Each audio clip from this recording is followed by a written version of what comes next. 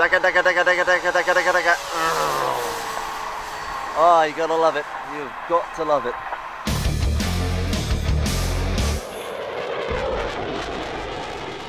Hello, welcome to Motion RC. Uh, here today for a extra flight review on a, a, model that you all know very, very well. It's the 1600mm uh, Flightline Spitfire. Now, I'm all about Spitfires. My son's middle name officially is Spitfire. I'm British.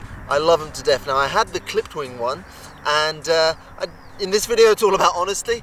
Now, in all honesty, that one did meet a watery grave, unfortunately. It didn't fare as well as the uh, ME262. In fact, I never saw it again.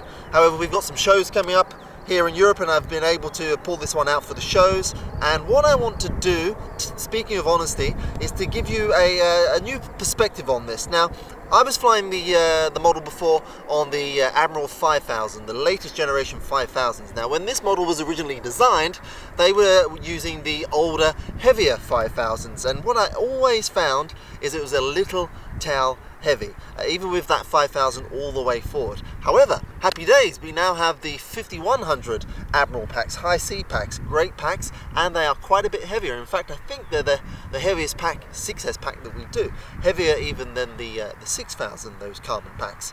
But in this model, they work very, very well. And they, for me, uh, give me the opportunity to get that CG where I like it. It's uh, it's pretty critical uh, with a Spitfire, and I'm very fussy when it comes to CG.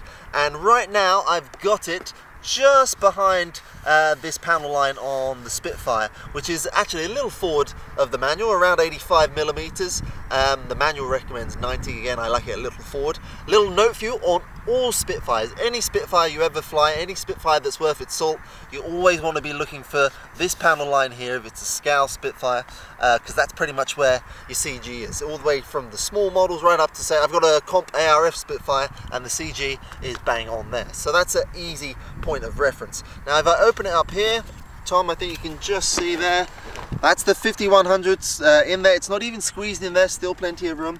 That's approximately where I've got the, uh, the battery lined up for my balance.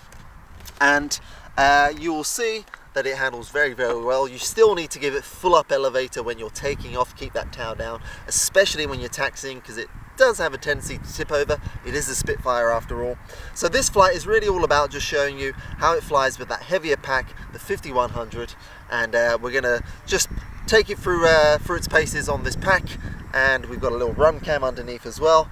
And let's uh, let's be honest it's another excuse to fly a Spitfire because it's the best aircraft ever. Tom are you ready? We'll I'm ready. the cam going. There's a big eagle in the back. Oh yes. The eagle has landed or will land soon. You see him? Yeah I see him. there's an RC kite flown by one of our club mates here. That's pretty cool. But time to get this eagle up in the air. We'll get the run cam going and we'll show you with the 5100 Admiral pack. All right let's go. All right Alright, so we're rolling. Now, the grass is quite soft and spongy and a little thick. You notice I'm holding full up elevator, as I said, in high rate. That's my low rate for flying. For taxiing and to get it uh, onto the threshold, onto the uh, directly into wind, I always taxi with full up elevator and I'm holding it all the way down because it will tip over. Got to really throttle manage it. Another little tip, I slowed down the servo uh, rate on the ESC by one millisecond just to stop the uh, torque being so violent and I found that that helps quite a little bit. So here we go, holding full up elevator, keeping that tail planted down and I'm going to bring it around into wind about, well, we're slightly crosswind now, Tom. Okay, so about there. That looks good. I'm going to go mid-flap for takeoff. I'm in low right now, uh, on elevator, still going to hold full up elevator and then ease the elevator off as I come into it. Don't forget, give it a bit of an opposite rudder. It's got that four blade propeller and it will give you a bit of rotational torque. Taking off. Okay, slowly increase the power, let it get on its feet. There we go, correcting. There we go, that was with mid flap. Gear goes up. Gear going up I don't think it's going up yet. Okay, let me bring that round. Look at that. Look how good it looks. No, here comes the gear. There it is. How's that, Tom? Good. Sun is coming out. Sun is coming out. I'm flying a Spitfire. What could be better? Now, before, when I flew this on the lighter packs and I couldn't get the CG where I wanted it, it would kind of hobby horse. It would kind of go up and down like this, depending on the throttle setting, and I didn't like that at all. And I've managed now to eradicate that. And now it looks, look at that. You see that, Tom? Yep. Okay, this is just under half throttle now. Downwind. Oh, okay. This is the Spitfire everyone's talking about. I knew it was good, but now it's really, really good. I'll bring it, bring it around and I'm going to pull up into camera. Look at those roundels sticking out. Okay. Look at that, nice and steady, and up and roll. How's that, Tom? Great. Ah. I mean, what else can you say? It's it's a big Spitfire.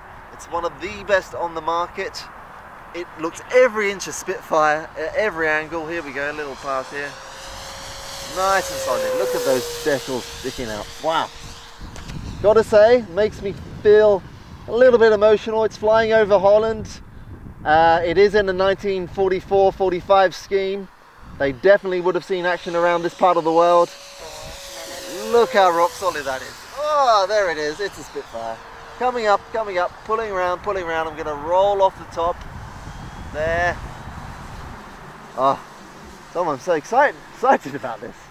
All right, let's do uh, some, uh, let's do a dirty pass. I'm going to get the flaps down, do a touch and go, mid flaps now, feeding on the elevator, feeding on the elevator, and easing off the throttle, and there's your touch and go. Oh, I almost nosed over there. You've got to watch it.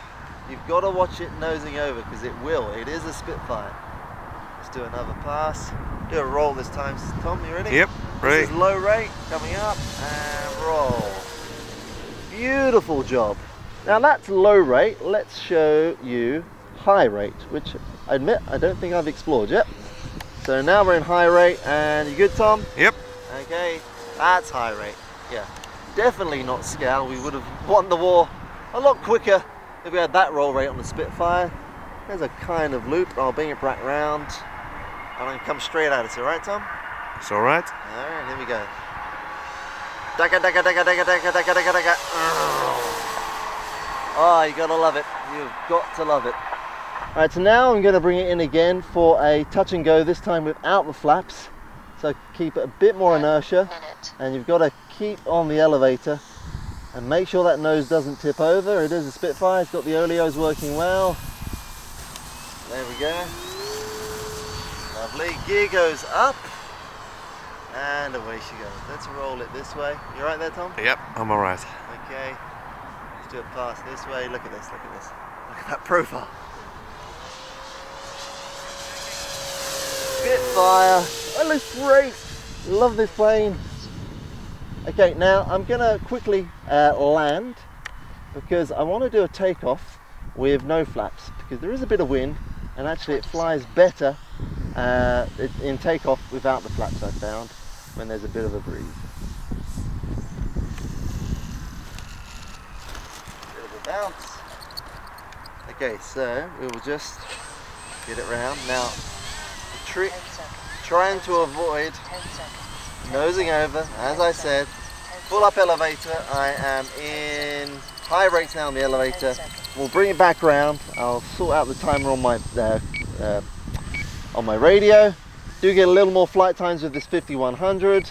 It handles the weight very well. Let's just turn that off. And this is now takeoff uh, with no flaps and should be a little more elongated. Full up elevator, a little bit of opposite. And let that tail come up, keep easing. There we go. Gear goes up. And that 5100, it's a big, it's a big airframe. It handles the weight effortlessly. In fact, it's nothing but benefits. You get longer flight times, and you get that CG just that much more forward. So it's a great pack for it. And look, with that higher C rating, it's actually got a little more poke than I remember it having before. Fast pass, straight past the camera. There we go. Now, of course, it's not EDF fast because it's got a big four-blade propeller on the front of the nose, but it looks great. Right, we'll do one more roll. How's that, Tom? Great. All right, gears coming down. Where's the wind now? All right, this way. Pretty much landing as I was. Now, this time I am going to be mid flaps. Uh, of course, you can go full flaps, but I'm not going to do that in this wind. Bit more power. All right, and then get ready to ease on the elevator. Lose that speed. Lose that speed. Beautiful. There we go. That's one you can walk away from. So there it is. It's the Flightline 1600mm Spitfire that you all know and love. But this is just proof that it flies extremely well on the 5100, which is heavier and really helps with that CG if you like a little bit nose heavy as I do. Um, my son is here again. Yeah, wait a minute, Silas, look, what's over there? What plane's that? What plane's that? Spitfire. And what's your middle name? Spitfire. Yeah, there we go. I'm not lying. so there it is. Silas, my son is going to go and get the Spitfire, his namesake. Thank you very much for watching. In stock in both warehouses, and going to go help him with this. Thank you very much. See you next time.